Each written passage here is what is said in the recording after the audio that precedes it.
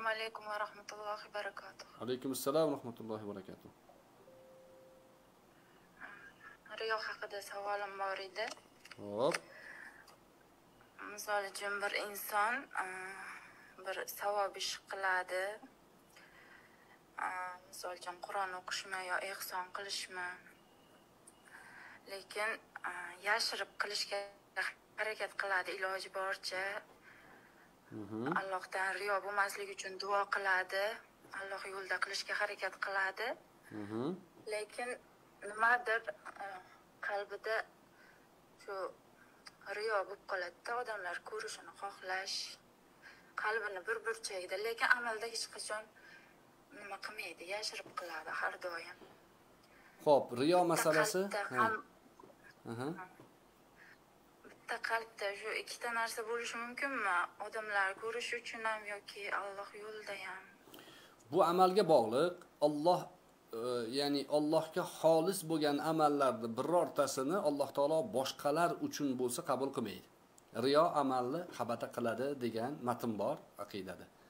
Lekin ba'zi o'rinlar bor, odamlar ko'rishi uchun qilinadi. Masalan, e, kiyimni odamlar uchun kiyiladi, ya'ni faxr uchun emas, odamlardan avratni bekitish uchun kiyiladi. Ya'ni odamlar menga bir tiyinib yalang'och chiqib ketmaydi ko'chaga.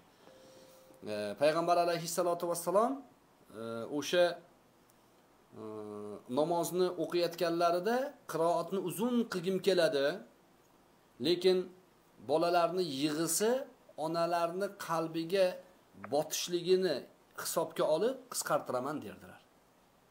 Demak, odam uchun ham ba'zan ularga yengillik bo'lishi uchun ularni ko'ngliga qarab ham ba'zan amal qilinadi. Payg'ambar alayhissalotu vassalom Madinada munofiqlarni o'ldirmaganlar. Kofir ular, munofiq. Nimaga o'ldirmadi, o'ldirmaymiz deganlarida boshqalar Muhammad e, kuchga kelgandan keyin o'ziga ergashganlarni o'ldirishni boshladi deydi. Siyosiy vaziyat bu. O'sha siyosiy vaziyatdan chiqib ketish uchun buni qilganlar. Ka'ba muazzamani tavofida tavofida e, tavof qilayotgan paytingizda ma'lum bir joyda lo'killab yugurasiz. Safo Marvada ham ma'lum bir ko'k chiziq bor, o'sha joyga kelganingizda o'zingizni pahlavon qilib ko'rsatib yugurasiz. Shalpayib qilmaysiz u joyda. Nimaga desa, payg'ambar alayhissalom ilk Makka ga kelib Makkani e, tavof qilayotganlarida, haj amallarida, Safo Marvada mushriklar, hali iymon kelmagan mushriklar tashqaridan qarab turishgan. O'shalar ko'radigan joyda musulmonlar zaif deb o'ylamasin ular, deb kuchli-kuchli ko'rininglar deganlar. Dushmanga qarshi haybatli ko'rinish ham odamlar uchun bo'ladi, lekin bu Allohning roziligi uchun bo'ladi. Riyo amalni habata qiladi. O'sha riyodan qo'rqish iymonning e, ziynati hisoblanadi. Asli sizga muborak bo'lsin. Ya'ni riyo sababli iymonim, amalim habata bo'larmikin deb xavotir qilyapsiz. Bu iymon bu. Mana shu iymonni ziynati shu. Ba'zi rivoyatlarda va zalika mahdul iymon deganlar. Shu iymondan xavotir qilgan odamga mana shu iymon deganlar. Rostdan ham xavotir qilyapsanmi? Ha, ana shu iymon deganlar. Riyo insonni ichida qalbida bo'ladi. Uni tashqariga chiqarsa riyo bo'ladi. Ichingizda o'taveradi. Shayton vasvas qiladi, nafsingiz vasvas qiladi, ichingizdan o'taveradi u. palonchilar ko'rib qo'ysin, pistonchilar degan. U narsani tashqariga chiqarib, ha, palonchilar ko'rib qo'ysin uchun, pistonchilar meni maqtasin uchun deb amalda, gapda bunga amal qilsangiz, unda riyo bo'ladi. Ichingizda o'tgani javobgar bo'lmaysiz. Va duo payg'ambar alayhissalotu vassalom duo o'rgatganlar. Allohumma tahhir qalbi minan nifaq. Parvardigorim qalbimni nifoqdan pokla. Va amali minar riya. Amalimni riyodan pokla. Va ayni minal xiyana.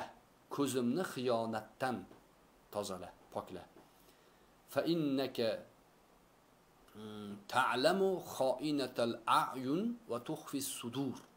Chunki Allohim ko'zning xiyonatini qalbga e, xutur qilgan, qalbdan o'tadigan narsani san biluvchi zotsan deb duo qilganlar. Shu duoni ham yodlab o'qib yuring. Allohumma tahhir qalbi minan nifaq va amali minar riya va ayni minal xiyana fa innaka ta'lamu xoinatal a'yun va ma tukhfi sudur. Mana shu duo. Bu duo ham kerak, duo ham kerak. Va amalni amalni qilarkansiz riyo bo'lsa, riyo bo'lsa. Odamlar maqtasa qilasiz, yomonlasa tashab qo'yasiz. Bu ham riyoni alomati. Bir amalni qilarkansiz, odamlar maqtasa havolanib ketmasangiz, yomonlasa o'sha amalni tashlab qo'ymasangiz, demak siz riyokor emassiz. besh vaqt namozni o'qiyapsiz, odamlar sizni besh vaqt namoz o'qiydi bu degani uchun chiqmayapsiz-da. Nima bo'lsa ham o'qiyapsiz. Odamlar sizni yomonlasa ham, qiyinchilik bo'lsa ham tashab qo'ymayapsiz. Demak bu riyo emas. Riyo o'sha amaldan ko'zlangan inson o'zi xohlagan narsani e, erisha olmasa, o'zi xohlagan narsaga erisha olmasa, o'sha amal tashab qo'yadi riyokor. Riyoni muolajasi bor. Qanday muolaja qilinadi? Riyo insonni qalbidan o'tadigan narsa. O'sha riyo insonni maxfiy shirkka yetaklaydi. Qanaqa qilinadi buni muolajasi desa, hech kim yo'q joyda Allohdan qo'rqib yig'lash kerak. Hech kim yo'q joyda nafil ibodatlarni qilish kerak. Yashirincha sadaqotlar qilish kerak. Farz namozlarini jahriy qilaveradi erkaklarga aloqador. Ayollar e, maxfiy o'qisa bo'laveradi. Erkaklar farzlarni jamoatlar bilan qiladi. Lekin nafillarda iloji boricha maxfiy qilish kerak. Mana shular muolajalari Alloh taolo o'zi isloh qilsin. Tushunarligi? Rahmat, Alloh rozi bo'lsin. Salomat bo'ling, birodarlar. Mana shu bilan inshaalloh robbil alamin bugungi suhbatimizni yakunlaymiz.